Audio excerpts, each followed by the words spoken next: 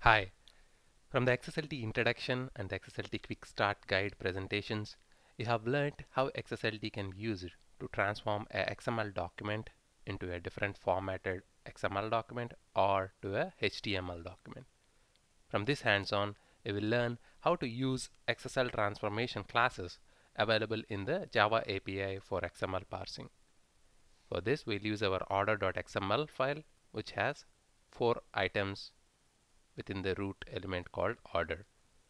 And we have a extensible style sheet for this order.xml which when applied will transform our XML to HTML.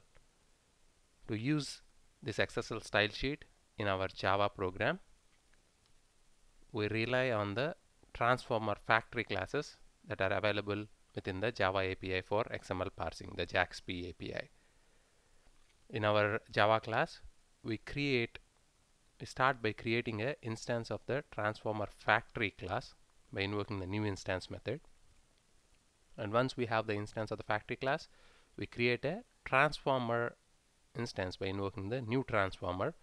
And the input parameter for this new transformer method is the XSL stream which is a stream source instance which holds the order.xml file eh, sorry order.xsl file which is our style sheet so we create a transformer from the transformer factory by passing it the holder to our order.xsl.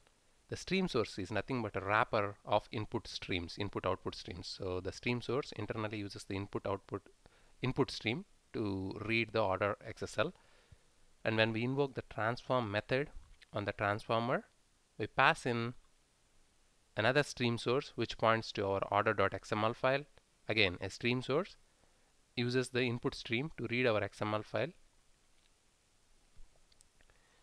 and the second parameter is a stream result which tells the transformer where the resulting HTML or XML should go to. In this case we are telling the transformer that it should write the resulting HTML to system out the console.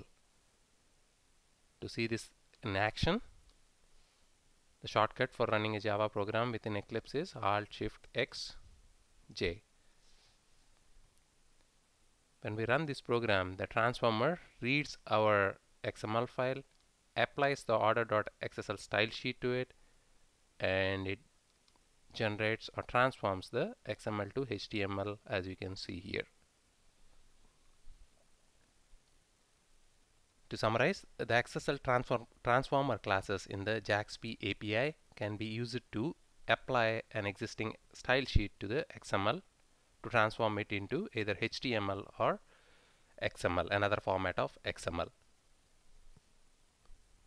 So we used the transformer factory class and the transformer classes from the JAXP API and the stream source uses the input stream to read the XML and XSL document and the stream result tells the transformer where the output will be written to or the transformer uses the stream result class to write the output to either a file or a console uh, uh, or a network or even a network. It's that easy to transform or to apply XSLT within Java. Until the next presentation, take care, keep sharing and learning. Thanks for watching.